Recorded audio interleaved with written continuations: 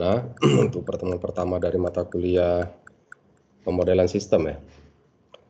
Eh, bahan kuliah kita menggunakan referensi utamanya manajemen sains eh, Dallenbach itu sudah saya berikan e-booknya. Kemudian juga rencana pembelajaran satu semester itu juga sudah eh, berikan. Nanti silahkan dipelajari eh, skenario perkuliahannya. Kuliah ini tim teaching dengan Bapak Dr. Diki Patrias. Beliau akan masuk nanti setelah mid test exam. kelas kita kelas bahasa Indonesia ya, bukan bahasa Inggris ya. Saya nggak ingat. Kayaknya bahasa Indonesia ya. di jadwal juga nggak di ini, nggak ada di dikasih identitas kelas bahasa Inggris atau bahasa Indonesia. Baik, uh, saya hanya memberikan materi kuliahnya itu sekitar 30 menit ya, paling lama 45 menit, uh, karena pertimbangan-pertimbangan uh, beban maupun hal-hal teknis yang harus dihadapi oleh mahasiswa. Jadi oleh karena itu, uh, perkuliahan ini mengharuskan mahasiswa lebih aktif dan punya spirit membaca textbooknya ataupun mencari sumber-sumber lain. Nah, kuliahnya juga ada project karena ini project based learning, pembelajaran berbasis uh, project yang nanti akan di arrange, diatur sedemikian rupa oleh Pak Diki. Di tengah perjalanan nanti juga akan saya uh, sampaikan juga bagaimana cara saudara melakukan pekerjaan itu. Nah, silakan dipelajari skenario perkuliahannya ya, dari rencana pembelajaran satu semesternya itu. Uh, lainnya nanti akan saya matangkan dengan uh, Pak Dikinya.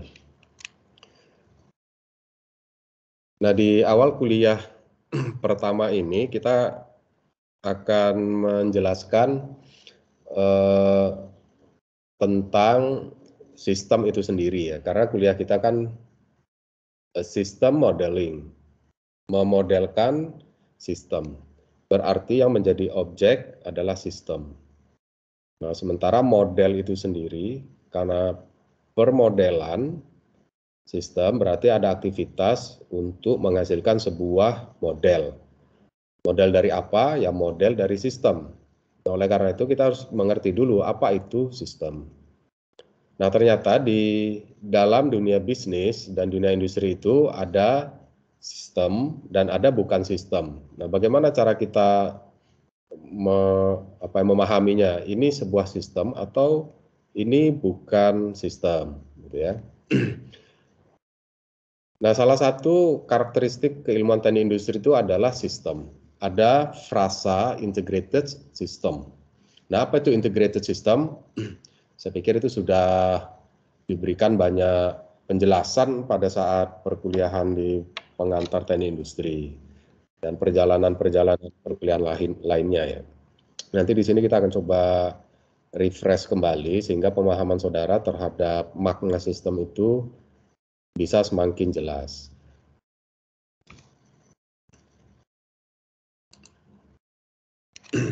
Kita awali dengan sistemnya itu sendiri. Ya. Saya akan jelaskan eh, apa itu teori sistem, kemudian bagaimana kita berpikir sistem, sistem thinking, berpikir sistem itu seperti apa.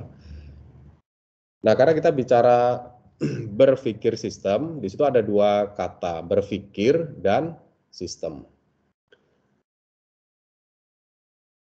Nah, sekarang kalau ditanyakan apa output dari berpikir, berpikir itu artinya kan ada proses ya, ada proses. Karena ada proses, pasti ada output ya. Tidak ada proses tanpa output itu tidak ada. Semua proses pasti ada output. Hanya saja tipe dari output itu ada yang intended, ada yang unintended. Intended berarti outputnya itu sesuai dengan apa yang kita harapkan, sesuai dengan tujuan kita. Tapi kalau unintended, kita tidak pernah mengharapkannya, tetapi luaran itu muncul.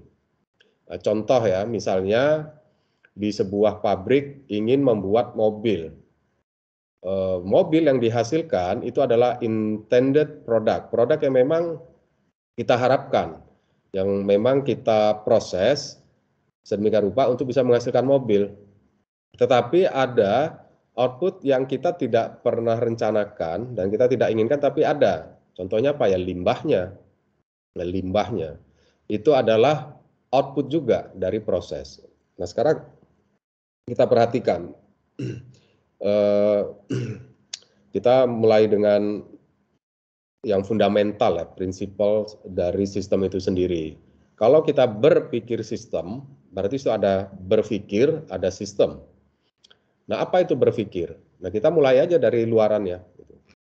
Nah, coba saudara sebutkan satu saja. Ya. Apa luaran dari berpikir? Siapa yang mau jadi volunteer? Biar cepat kuliahnya. Apa luaran dari berpikir itu? Contoh luaran dari berpikir. Hanafi ada Hanafi. Apa Hanafi? Hanafi Fahruri ini ada hadir? Ah, hadir Pak. Kenapa berpikir itu? Luaran dari berpikir apa yang kamu bisa nalar? Gimana Pak? Kamu bisa baca slide saya itu. Sebutkan luaran dari berpikir. Kamu bisa baca ya slide-nya ya? Bisa, Pak. Apa luaran dari berpikir? Kalau kamu disuruh berpikir, luarannya itu apa? Uh, Hasilnya apa?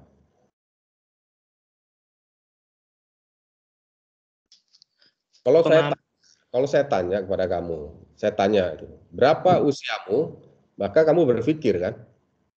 Apa yang kamu pikirkan? kapan lahir dan sekarang tahun berapa. Kemudian dicari selisihnya. Maka keluarlah angka. Angka itu adalah luaran dari proses berpikirmu. Berarti luaran dari berpikir itu apa? Mungkin ide mungkin Pak atau pengetahuan Pak.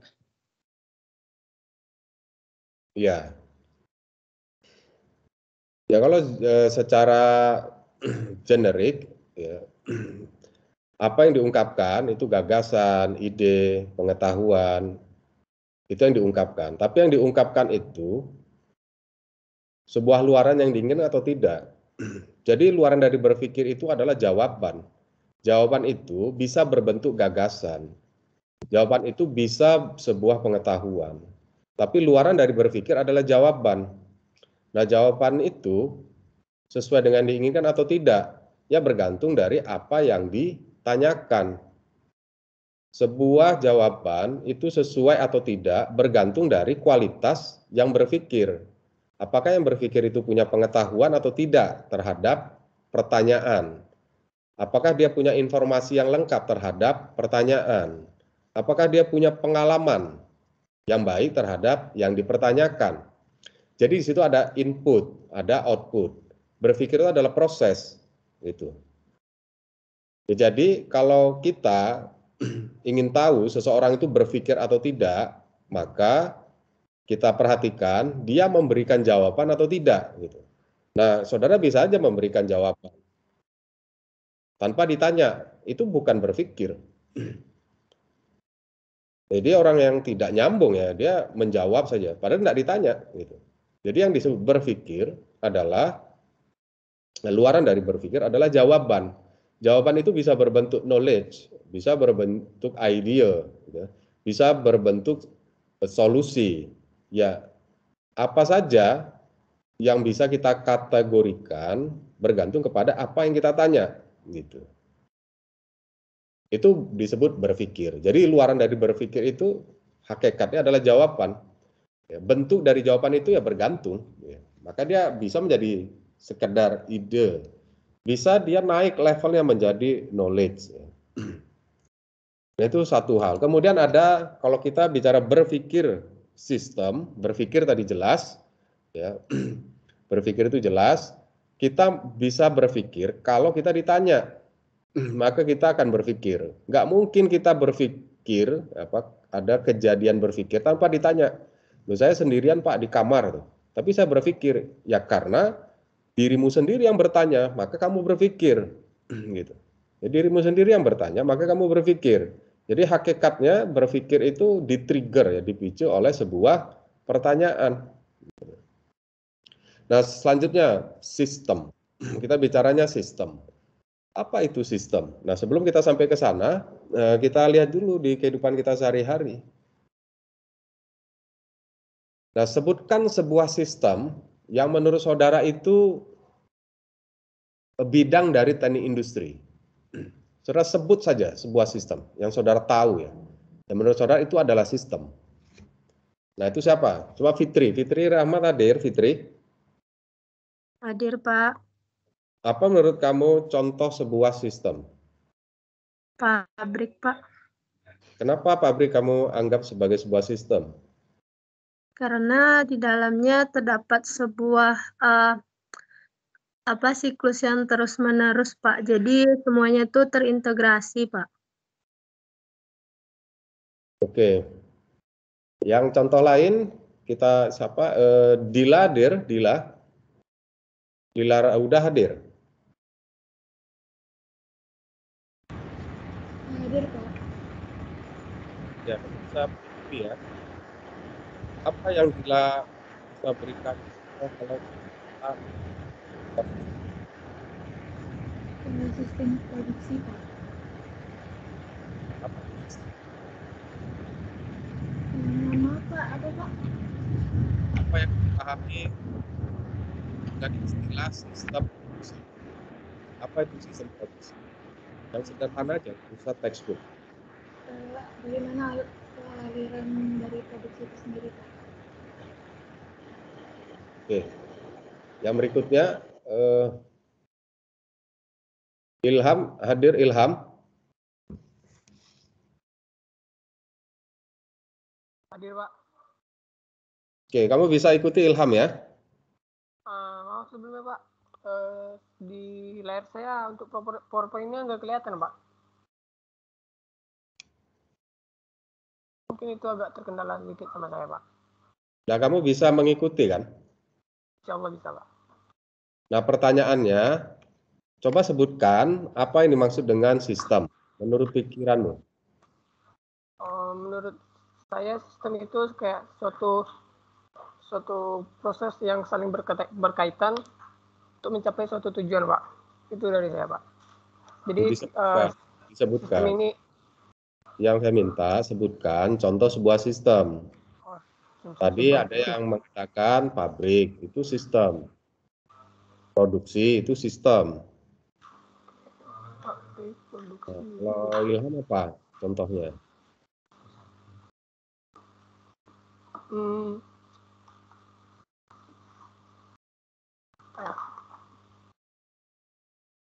Hmm, sistem sistem mungkin uh, dari saya Pak uh, seperti apa yang kita lakukan sekarang ini Pak? Kita kan sedang uh, mahasiswa ini sedang berkuliah. Berkuliah, berkuliah ini termasuk dalam suatu sistem Pak. Ya diberi nama. Apa namanya? Sistem perkuliahan atau uh, ya Pak sistem perkuliahan ini Pak. Perkuliahan. Kenapa ya, perkuliahan sebagai sebuah sistem? Karena kita ada output yang ingin dicapai, Pak.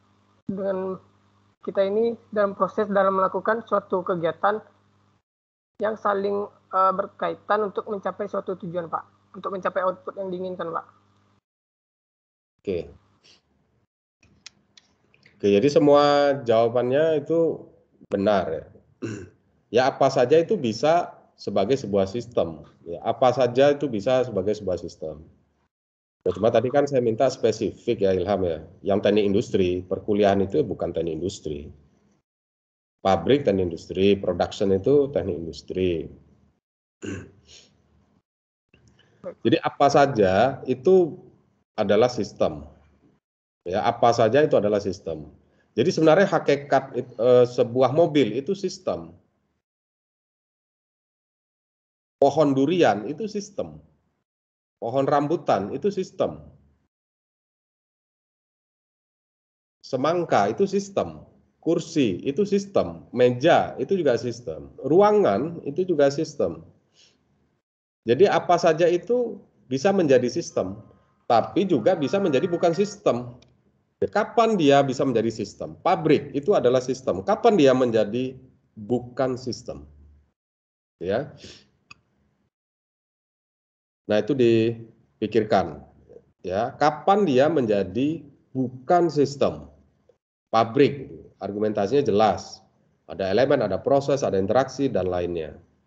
Maka saya menyebutnya sebagai sistem, Pak.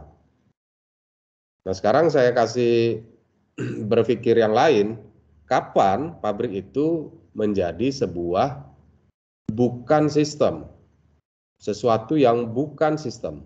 Tadi saya sudah sebutkan apa saja itu bisa, ya. apa saja itu bisa menjadi sistem. Bisa menjadi sistem, berarti bisa juga menjadi bukan sistem. Kan kata-katanya bisa. Dia bisa menjadi pacar saya, kan bisa. Apakah berarti dia pacar saya? Belum tentu. Ya kan? Kan begitu logika silogisme itu. Pabrik adalah sistem. Kapan dia menjadi sebuah sistem? Dan pabrik itu juga bisa menjadi bukan sistem. Kapan itu? Oke, nah saudara ikuti dulu uh, pemahamannya ya, pemahamannya. Maka di sini ada istilah berpikir sistem. Sistem thinking dalam bahasa Inggrisnya, system thinking. Itu berpikir sistem. Ada juga ya, thinking system. Ada berpikir sistem, ada sistem berpikir. Nanti kalau dalam bahasa Indonesia kan ada teori diterangkan menerangkan, ya DM, MD gitu ya. berpikir sistem. Kalau kita eh, pahami dari sudut pandang bahasa berpikir sistem, berarti cara kita berpikir itu mengikuti ciri dari sebuah sistem. Jadi proses berpikirnya, proses memahaminya, proses memproduksi jawabannya, itu berpikir. Jadi proses untuk bisa menjawab itu secara sistem itu berpikir sistem. Tapi kalau sistem berpikir, ini benda. Sistem berpikir benda. Apa ya? Komputer, kalkulator. itu sistem berpikir. Nah, apalagi itu makin nyata kalau kita berikan artificial intelligence, diberikan kecerdasan buatan seperti robot. Itu adalah sistem berpikir sebuah sistem, sebuah objek yang mampu berpikir. Berarti dia benda mati, tapi benda itu diberi kemampuan untuk mampu berpikir. Nah, maka teknologi teknologi komputer itulah yang membuat benda-benda mati itu bisa punya kemampuan untuk berpikir. Itu sistem berpikir. Tapi kalau berpikir sistem, benda mati sebagai sistemnya, sebagai objeknya, dan yang berpikir itu manusia, orang yang hidup, orang yang punya kecerdasan, ya, orang yang punya mental, ya, orang yang punya keinginan dan seterusnya. Nah, itu berbeda. Jadi sistem thinking sama thinking system di sana perbedaannya. Kalau sistem thinking berpikir sistem itu adalah orang. Berarti dalam konteks bisnis itu adalah pengambil keputusan. Kalau sistem berpikir itu alat yang akan atau dibutuhkan oleh pengambil keputusan. Nah itu dari sisi terminologi. Kalau nanti Anda membaca artikel-artikel yang berkaitan dengan sistem teori, supaya paham dulu terminologinya. Oke, kita spesifik ya mendalami. Ada berpikir sistem. Nah sebelum didefinisikan supaya saudara tidak justru berpikirnya itu nanti tidak berpikir sistem ya. Maka kita awali dulu, kita mulai dari akhir dan berakhir di awal. Gitu ya. itu filosofinya Habibie. Dimulai dari akhir dan berakhir di awal. Maka saya tanya, berpikir sistem. Berikan contoh kebijakan. Kebijakan, ini saya Eh, berikan pertanyaannya bebas, tidak kaku, tidak seputar tadi industri. Tapi apa saja yang menurut saudara itu kebijakan? Contoh kebijakan itu bisa peraturan rektor, Bisa undang-undang, bisa peraturan presiden, bisa keputusan presiden, bisa standar operating prosedur ya. Apa saja yang disebut sebagai policy, bentuk-bentuknya ya, bentuk-bentuknya, undang-undang, peraturan pemerintah, standar operating prosedur, peraturan rektor, keputusan rektor, itu kebijakan. Nah, berikan contoh produk kebijakan yang menurut saudara produk tersebut merupakan uh, hasil dari proses berpikir sistem. Apa contoh contoh produknya? Gina hadir Gina? Hadir Pak, mohon maaf Menurut tadi Gina apa? agak ngelek. Gimana tadi Pak kebijakan? Ya, kamu dengeri, saya ulangi ya, supaya bisa diikuti. Sebutkan contoh Baik Pak. kebijakan yang dihasilkan dari sebuah proses berpikir sistem. Kebijakannya itu apa gitu?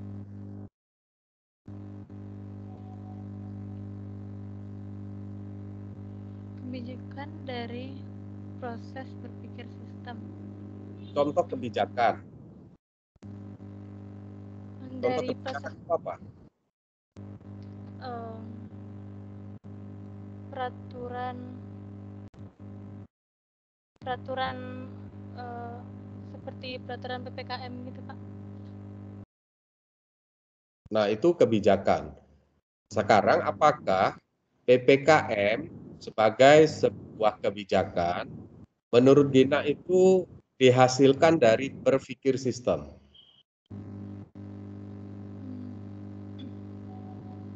Iya Pak. Dari berpikir sistem. Pak. Ya argumentasi kamu apa?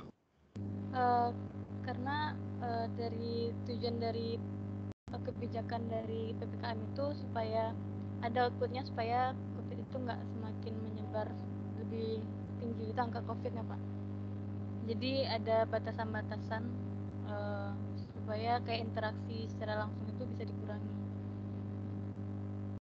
nah jadi outputnya supaya nilai covidnya nggak tinggi lagi Oke. Nah, yang lainnya Zaki hadir Zaki. Hadir Pak. Nah, Zaki beri contoh. Yang menurut Zaki itu sebuah policy, sebuah kebijakan. Tadi menurut Gina kan PPKM. Nah, Keywordnya adalah PPKM itu disebut hasil dari berpikir sistem karena ingin menjawab pertanyaan bagaimana cara mengurangi jumlah korban akibat pandemi. Itu kira-kira itu ya, saya pertegas penjelasannya si Gina. Nah, kalau Jaki punya contoh lain, apa contoh lain yang menurut Jaki itu adalah sebuah kebijakan yang dihasilkan dari berpikir sistem? Eh, menurut Zaki, eh, kebijakan berpikir sistem eh, pada contohnya di Yunan ini Pak, kebijakan untuk keringanan UKT Pak. Keringanan UKT karena akibat pandemi Pak. Ya, kenapa itu merupakan produk dari berpikir sistem kebijakan itu? Eh, karena eh, manusia yang eh, membuat kebijakan itu Pak, bukan alat.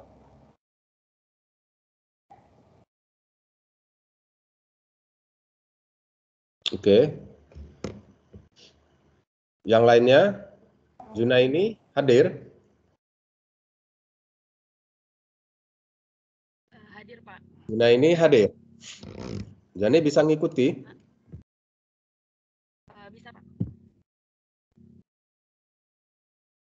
Nah, pertanyaannya sama. Beri contoh kebijakan, sebuah kebijakan yang menurut Ju- Junaini itu adalah kebijakan yang dihasilkan dari berpikir sistem. Contohnya apa? Ini contohnya yang produk dari hasil berpikir sistem itu seperti pemberian eh, jam kerja atau shift kerja eh, di suatu tempat pekerjaan gitu, Pak. Contohnya eh, kayak shift pembagian shift-shift terhadap karyawannya, Pak. Pembagian shift ya. supaya kayak Iya Pak. Ya kenapa? Karena menurut Junai, dia eh, merupakan produk berpikir sistem? Iya Pak. Karena eh, tujuannya itu dibagi eh, dibuatnya pembagian shift itu supaya kayak menghindari eh, tingkat kelelahan yang berlebih terhadap karyawan eh, sewaktu bekerja gitu Pak. untuk mengurangi tingkat kelelahan. Oke. Nah, saya simpulkan. ya. Apa ciri dari sebuah produk berpikir sistem? Ciri sebuah produk. Ini general dulu ya. Kita belum masuk ke hal teknis spesifik di teknik industri. Supaya karena kalau spesifik teknik industri, saudara harus punya modal pengetahuan yang cukup. Baru saudara bisa paham jadi kalau kita beri contoh yang ada di sekitar kehidupan kita sehari-hari, nah, saudara punya pengetahuan dan informasi yang cukup ya, karena setiap hari itu saudara baca, dengar, atau ketahui. Karena semua contohnya juga kehidupan sehari-hari. Saya sudah memberi highlight tadi di awal kuliah. Yang namanya berpikir itu memberi jawaban. Sistem ya, itu adalah apa saja yang sedang kita amati. Sistem itu apa saja yang sedang kita persoalkan. Kalau kita sedang persoalkan, kita permasalahkan, maka akan muncul pertanyaan. Karena muncul pertanyaan, terpiculah berpikir. Berpikir terhadap apa? Terhadap pertanyaan itu. Pertanyaan itu muncul dari mana? Dari persoalan. Maka kita bisa definisikan sistem itu adalah situasi yang sedang kita permasalahkan. Contoh, kenapa PPKM itu merupakan policy kebijakan yang kita bisa anggap sebagai output dari berpikir sistem. Karena berangkat dari situasi yang sedang kita permasalahkan. Kita sedang mempermasalahkan pandemi kah atau sedang mempermasalahkan korban akibat pandemi? Itu berbeda. PPKM PPKM itu adalah sebuah kebijakan yang sedang mempermasalahkan akibat dari pandemi, bukan pandeminya. Ya, akibat dari pandemi, yaitu banyaknya korban itu sedang dipermasalahkan. Maka muncul pertanyaan, bagaimanakah caranya untuk bisa mengurangi jumlah korban? Batasilah mereka untuk saling bertemu. Selesai. Tapi kalau kita sedang mempersoalkan pandeminya, itu bukan hanya masalah korban. Masalah apa tipe dari virus itu? Bagaimana virus itu bekerja? Siapa saja yang akan terdampak? Dari mana asal muasalnya? Apa komposisi dari virus itu? Banyak gitu. Tapi PPKM ya, itu tidak sedang mempersoalkan pandeminya, tapi sedang mempersoalkan apa yang menjadi akibat dari pandemi itu. Dan salah satu akibat yang sedang dipermasalahkan adalah jumlah korban. Maka PPKM itu hanya efektif, ya sebuah kebijakan yang efektif untuk mengatasi jumlah korban, tidak efektif untuk menemukan bagaimana cara membunuh atau mengurangi atau membatasi pergerakan virus. Nah, jadi sistem itu adalah situasi ya yang sedang kita persoalkan atau dalam frasa asingnya problematic situation, ya, problematic situation. Jadi situasi yang penuh dengan problematika. Itu adalah sistem. Nah, kita ambil spesifik ke dunia teknik industri. Produk, ya ada produk. Spesifik printer. Ya, printer. Kenapa printer itu saya definisikan sebagai sistem? Karena printer tersebut dari waktu ke waktu penjualannya turun. Sementara tuntutannya penjualannya itu ada targetnya. Satu tahun harus satu juta unit terjual. Tapi dalam satu tahun, dalam lima tahun terakhir, yang terjual itu selalu di bawah satu juta. Ketika saya munculkan pertanyaan, kenapa printer ini selalu di bawah target penjualannya. Maka saat itu saya sudah definisikan printer is a system. Karena ada problematic situation. yang melekat pada printer itu. Apa isunya? Penjualan di bawah target. Maka saat itu akan muncul pemikiran bagaimanakah cara untuk bisa meningkatkan penjualan printer.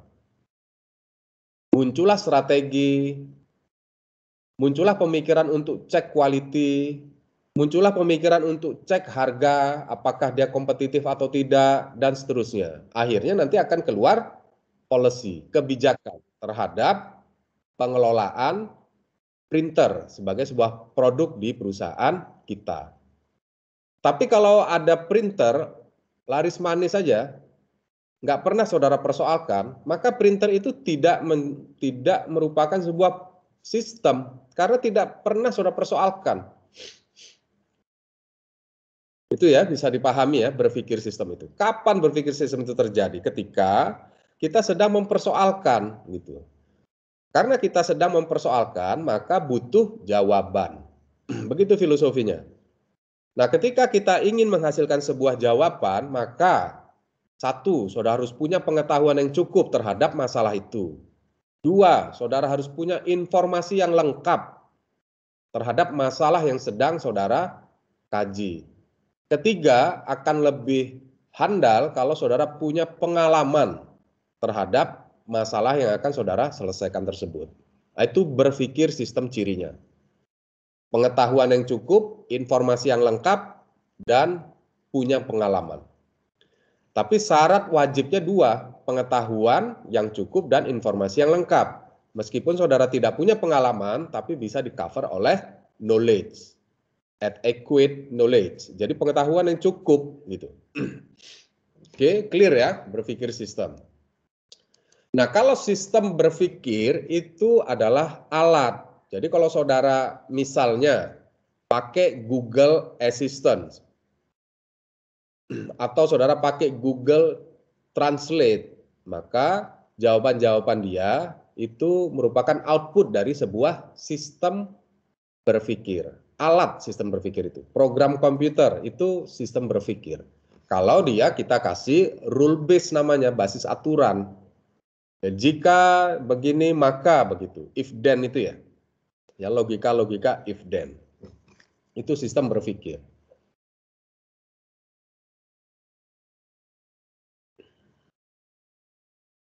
Ada berpikir sistem, ada berpikir linier. Apa bedanya? Nah, saya langsung jawab saja.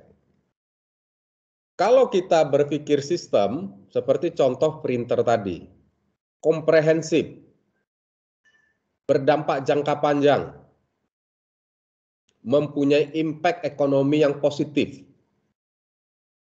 Jadi berpikir sistem itu hasilnya yang baik-baik semua. Berpikir sistem itu hasilnya yang baik-baik semua. Kalau berpikir linier itu seperti saudara menghadapi masalah dengan layar monitor saudara. Monitor layar monitor ini kok kadang hidup kadang mati. Ini kenapa tuh saudara tepuk-tepuk monitor. Nah, itu saudara berpikir linier. Yang penting hidup aja dulu. Nanti setelah kita shutdown, besok ulah lagi ya dilakukan hal yang sama. Gitu. Jadi saudara tidak pernah berpikir untuk jangka panjang, itu berpikir linear. Jadi kalau dari kita tabelkan, ya, berpikir sistem itu memperhatikan keseluruhan. Berpikir sistem. Kalau berpikir linear, dia melihat sesuatu itu sebagai sepotong-sepotong. Kalau saudara melihat layar komputer saudara rusak, saudara melihat masalahnya hanya pada layar. Saudara tidak pernah berpikir bahwasannya itu berkaitan dengan saudara tidak punya uang kalau mau beli, itu tidak saudara pikirkan efek saudara terhambat dalam melaksanakan pekerjaan. Saudara tahunya hari ini saya pakai komputer, layarnya kok mati, titik gitu aja. Nah, itu sepotong-sepotong. Tidak berorientasi kepada jangka panjang. Tidak memikirkan impact positifnya, efek positifnya tidak mempertimbangkan apa benefit yang akan diperoleh dari perbaikan-perbaikan terhadap situasi itu. Itu berpikir sistem keseluruhan. Lawannya sepotong-sepotong gitu. Jadi kalau berpikir sistem berorientasi kepada penyelesaian masalah. Kalau berpikir linier, problem uh, trouble shooting. Kalau berpikir sistem problem solving to solve the problems. Kalau berpikir linear, suit the trouble. Jadi concernnya beda. Kalau berpikir sistem, fokus on problems, the problems. Kalau berpikir linear, fokus kepada trouble. Susahnya naik motor. Itu berpikir linear. Tapi susahnya beli sepeda motor itu bisa masuk kategori berpikir sistem. It's significantly different kan? Jadi trouble dengan problems itu frasa yang berbeda. Saudara tidak suka dengan seseorang, kita sedang bicara trouble. Itu troublemaker dia nih. Tapi kalau saudara bicara tentang bagaimana nasib menyelesaikan studi ini dengan situasi yang tidak nyaman seperti ini, nah, saudara sedang talk about the problems gitu. Karena studi ini bicara masa depan, jangka panjang, dan impact terhadap diri sendiri maupun keluarga dan banyak orang. Oke, itu perbedaan berpikir sistem dengan berpikir linear. Jadi berpikir sistem bicara a whole, keseluruhan. Berpikir linear, sepotong-sepotong.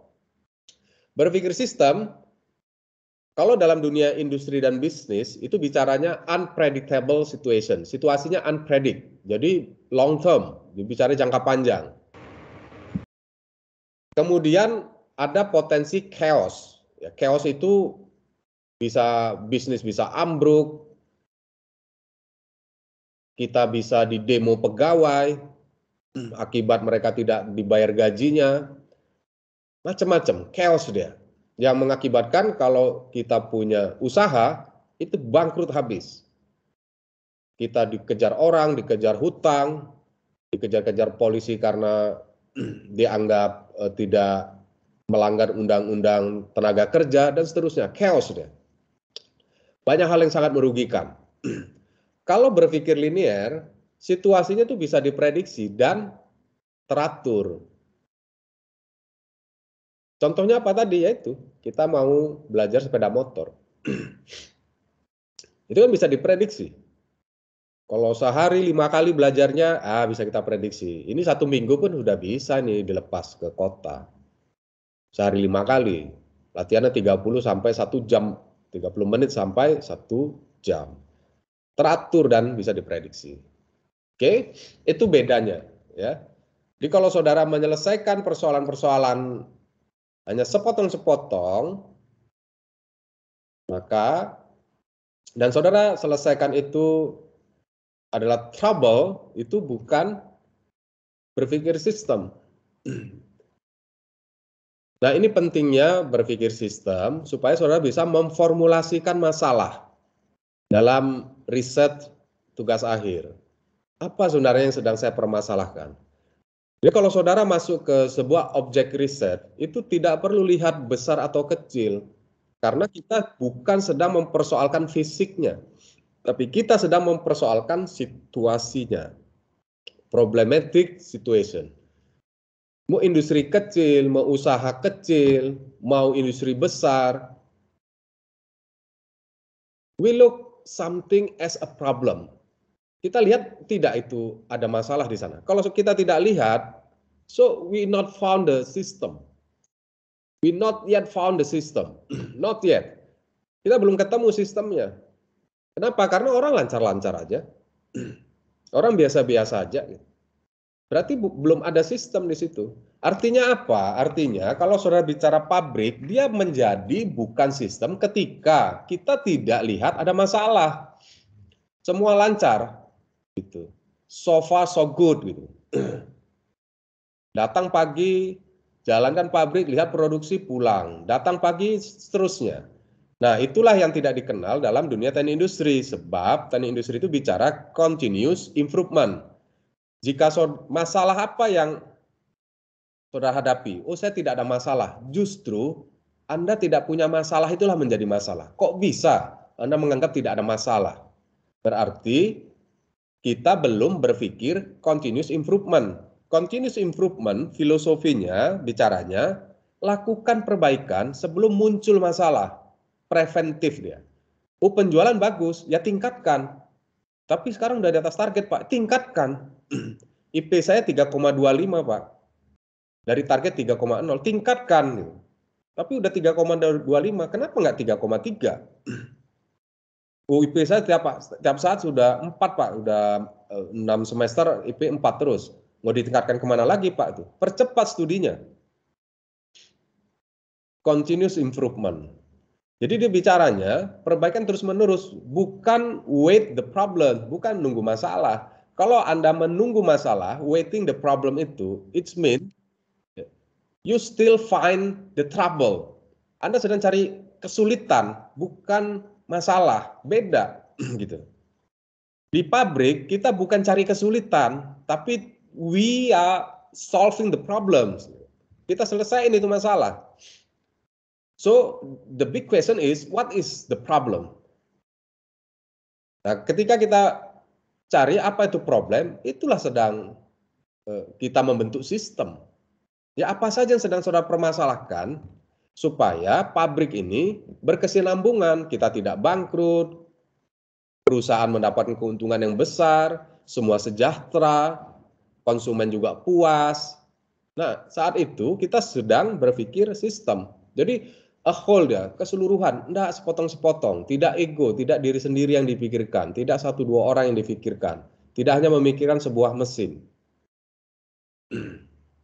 Oke, seperti itu. Jadi sistem itu bicara objek, atribut, relational, environment, lingkungan gitu ya, dan seterusnya. Nanti bahan ini akan saya berikan. Nah, jadi yang ingin saya pertegas pada perkuliahan kita hari ini adalah saudara mampu membedakan apakah saudara sudah punya skill, keterampilan berpikir sistem atau saudara ini tipikal berpikir linier. Nah, kalau berpikir linier berarti saudara belum punya pengetahuan yang cukup. Nah, itu saja. Sebelum saya akhiri ada pertanyaan? Nanti bahannya saya kirimkan. Ada yang ingin saudara tanyakan? Sampai di sini. Izin bertanya, Pak. Ya. Um, sebelumnya perkenalkan uh, nama saya saya Kosarinda Arifan BP 1910933 Pak. Um, untuk mengenai tentang yang berpikir sistem sama sistem berpikir tadi, apakah pegawai kantoran pegawai kantoran termasuk sistem berpikir, Pak? Baik. Kalau seorang pegawai Irfan tadi ya. Termasuk Irfan. Arifan. Arifan. Panggilannya Arif atau Ivan atau Ari atau Van kan? Hmm? Ari Pak.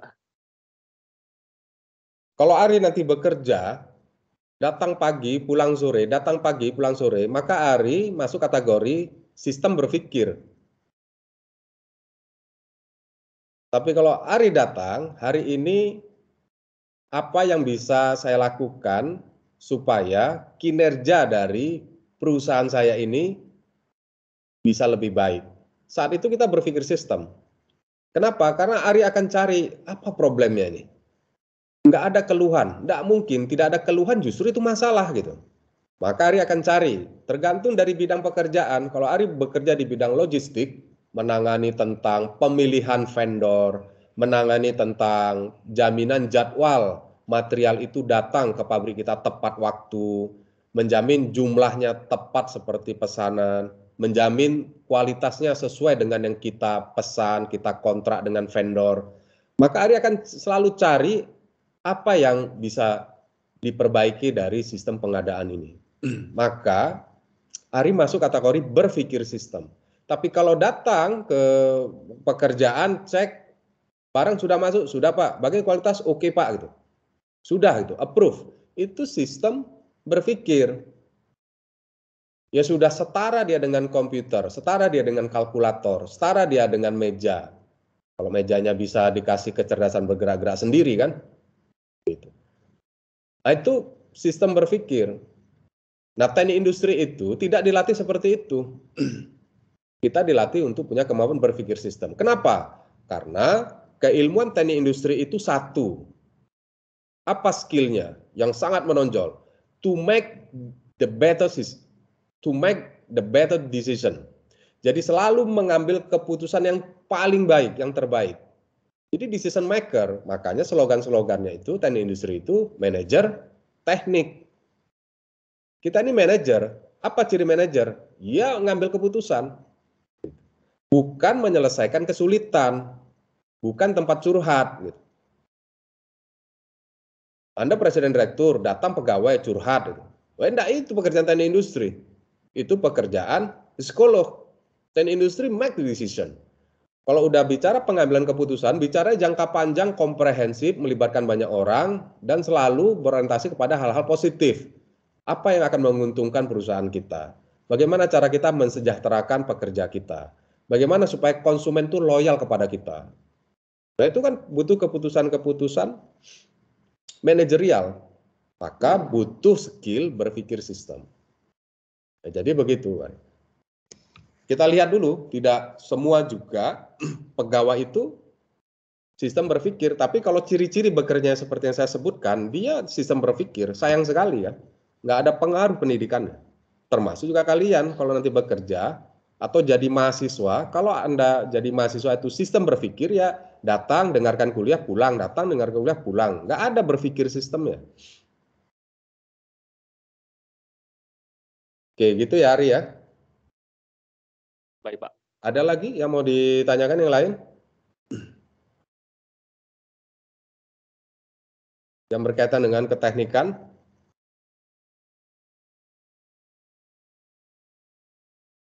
Baik, kalau tidak ada yang ditanyakan, saya akan close uh, perkuliahan kita. Nanti rekaman ini akan saya kirimkan juga.